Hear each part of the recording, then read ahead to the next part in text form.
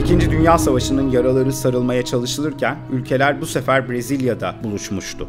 FIFA için zorlu bir organizasyondu. Zira turnuva için pek gönüllü yoktu. Harp yüzünden ertelenen 1942'deki şampiyonanın Brezilya'da yapılması bekleniyordu. 1946'daki FIFA kongresinde Güney Amerika'nın büyük ülkesi tekrar turnuvaya talip olunca bir manada rüyalar kabul olmuştu. Elemeler başlıyor, birçokları oynamadan yarıştan çekiliyordu. Turnuva için vize alanlardan Türkiye ve Hindistan Brezilya'nın yolunu tutmuyordu. Biz masraf demiştik, onlarsa ayakkabı. Asya ekibi o zamanlar çıplak ayaklar kumpanyasıydı. Aslında her iki ülkede gerekli hazırlığın yapılamayacağından endişe etmiş ve böyle bir karar almıştı. İlk Dünya Kupası'ndaki gibi 13 takım organizasyondaydı. Ülkeler 4 gruba bölünüyor. Uruguay sadece Bolivya ile oynayarak yoluna devam ediyordu. Statüye göre 4 grubun liderleri şampiyonluk grubunda buluşacak ve lig usulü oynanan maçlardan sonra bir takım zafere ulaşacaktı. İlk grup aşamasının en büyük sürprizi Amerika'nın İngiltere'yi yenmesiydi. Haiti asıllı Gattiens'in golü yeryüzünün birçok köşesinde manşetti. Şampiyonluk grubunda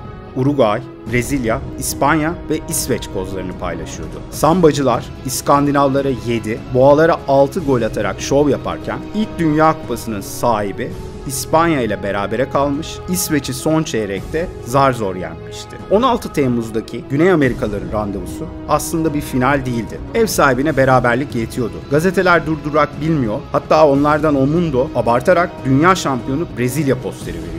Bunu fırsat bilen Uruguay kaptanı Varela arkadaşlarını maça motive ediyor. Maracana'ya bambaşka duygularla ayak basıyorlardı. Golsüz geçen ilk yarıdan sonra ikinci devrenin başında sahne alan Friaka başka ülkelerden de duyulacak bir sese sebep olmuştu. Brezilya öndeydi. Derken Schiaffino skoru eşitliyor. Gijia Maracana'ya ölüm sessizliği getiriyordu. 11 dakika boyunca 200 bin insandan adeta çıt çıkmıyor, son düdükle matem başlıyordu. Portekizce konuşma hazırlamış FIFA Başkanı Rime şaşkın bir şekilde Kaptan Varela'ya kupayı uzatmıştı. O Brezilya kadrosu bir bir milli takımdan uzaklaştırılırken iç sahada kullandıkları beyaz forma toprağa gömülmüştü. Böylece ezbere bildiğimiz formaya geçmişlerdi. Tarihin en büyük futbol mucizelerinden birinde sahadaki 11 adam 200 bin kişiyi alt etmişti. Uruguay böylece katıldığı ikinci turnuvada da zafere ulaşmıştı. Yıl 1950, yer Brezilya, şampiyon Uruguay,